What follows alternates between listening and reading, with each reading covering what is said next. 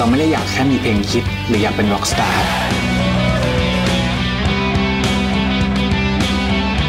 เราอยากเป็นตำนาน มีชีวิตเหมือนเป็นดังความฝันแต่สิ่งนั้นที่ใจคนต้องการเริ่มมีความกดดันว่าเฮ้ยมันจะมาเพลงเดียวหรือเปล่าครั้งนั้นนะเป็นครั้งแรกที่ทำให้ Slot Machine เนี่ยรู้สึกแล้วโอเค อันนี้คือความดังจริง ๆ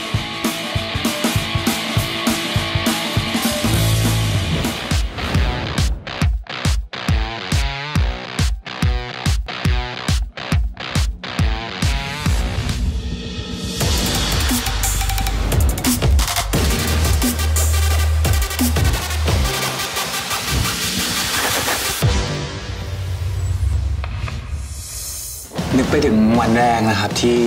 ได้มีโอกาสดูอ่าวิดีโอนะครับอ่า Family Values ก็เห็นการ perform ของ l i m b i s k i t กับคอน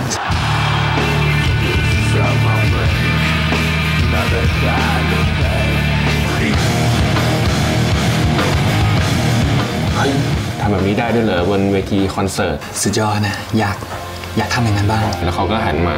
บอกว่า เฮ้ย เราจะทำงี้แหละ เราจะเป็นตำนาน เออตอนนั้นผมก็จำไม่ได้นะว่าผมเอาความมั่นหน้าอะไรมา จากไหน ผมเลยทิศทางในการที่จะเป็นนักดนตรีเนี่ยผมเจอแล้ว ผมเจอเพื่อนแล้ว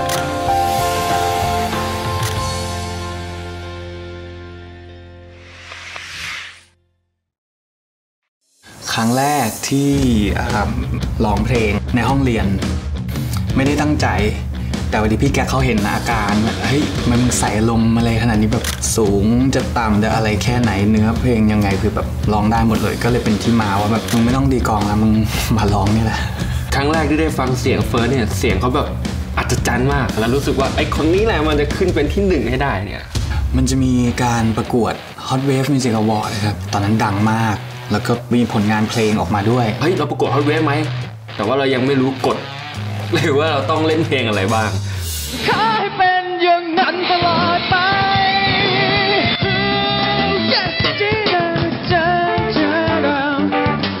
ตอนนั้นเรายังฝีมือไม่ดีแต่เราเอาชนะทุกคนได้ด้วยความคิดที่แปลกแยกออกมา หลังจากที่ประกวดแล้วได้ที่สองกลับมาเนี่ยครับทำให้มันเป็นจุดเริ่มต้นที่ดีและนี่แหละเริ่มมองเห็นอนาคตที่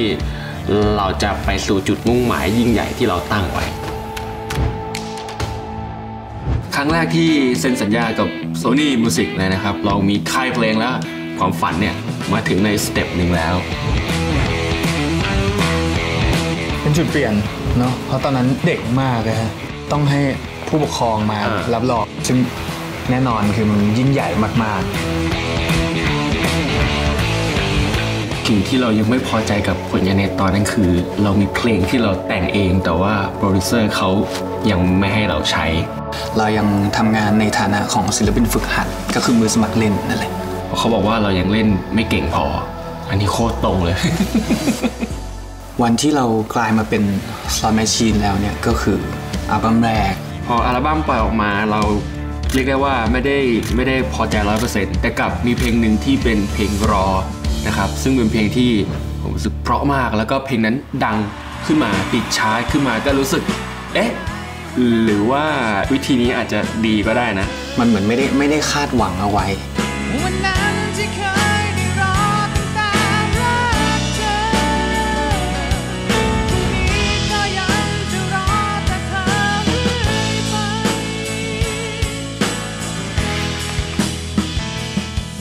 คือครั้งแรกที่เจอเนี่ย ผมเจอเขาในฐานะที่ผมเป็นคนดู แล้วเขาก็เป็นศิลปินที่อยู่บนเวทีอะไรอย่างนี้นั่นเป็นอัลบั้มแรกที่ผมเจอเขาเนี่ยผมไม่ได้ชอบเขานะ ผมรู้สึกว่าเหมือนเขายังไม่ได้อยู่ในจุดที่ยังจะจะขึ้นมาเป็นศิลปินมั้งคือโอกาสมันมาก่อนความสามารถในความรู้สึกผมบางครั้งก็ใครจะไปรู้ว่าวันนี้ก็ต้องมาลงเรือลำเดียวกันแล้วปะ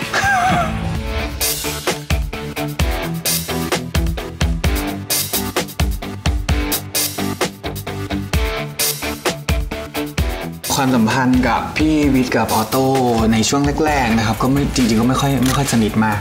มันเหมือนกับมันมีตรงกลางที่มันเป็นจุดร่วมก็คือเรื่องงานเรื่องดนตรี พอคุยไปแล้วมันมีจุดร่วมอุดมการร่วมกันที่มันตรงกันมากขึ้นเรื่อยๆอะไรเงี้ยครับ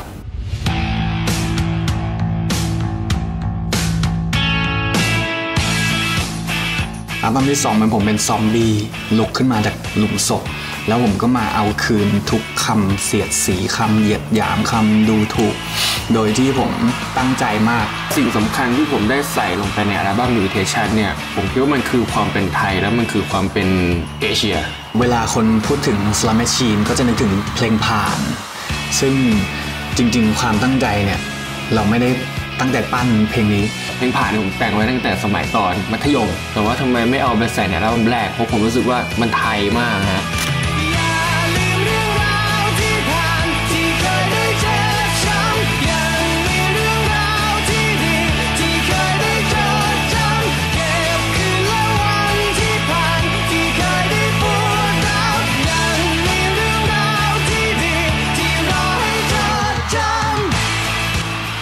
เข้าในวงแล้วปีนั้นอะเพลงผ่านได้เป็นเพลง Song of the Year ใช่ป่ะฮะผมรู้สึกว่าจริงๆมันเหมือนฝันอะรับรองว่าเดี๋ยวมันจะมาต่อไปเรื่อยอยากได้รางวัลเพิ่มเพิ่มเพิ่มเพื่อจะเอาไปตอกหน้าไอ้คนที่เคยแบบดูถูกเราไว้อะไรเงี้ย ตอนนั้น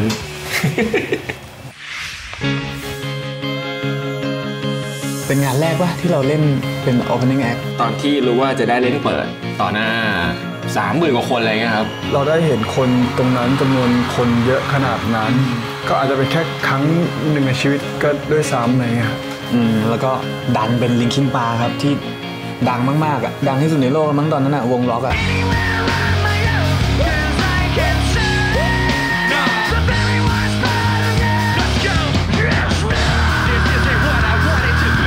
วันนั้นก็เสร็จก็มีฝรั่งเขาเข้ามาทักว่าแบบโอ้ยยูยูดีมากนะเนี่ยยู เจ๋งกว่าลิงปาร์กอีกนะเนี่ยดีใจมากครับแต่เป็นผู้ชายนะ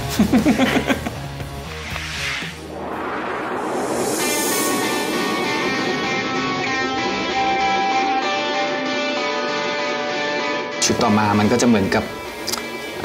second album syndrome ก็คือชุดแรกมีเพลงฮิตมาก พอมาชุด 2 คนก็เริ่มจับตา เริ่มเริ่มมีความกดดันว่า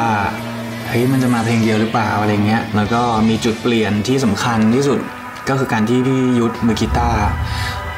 เขาขอลาออกจากวงไป รู้สึกยากแล้วก็ท้อแท้ครับ ก็เลยมีความคิดขึ้นมาว่า เฮ้ย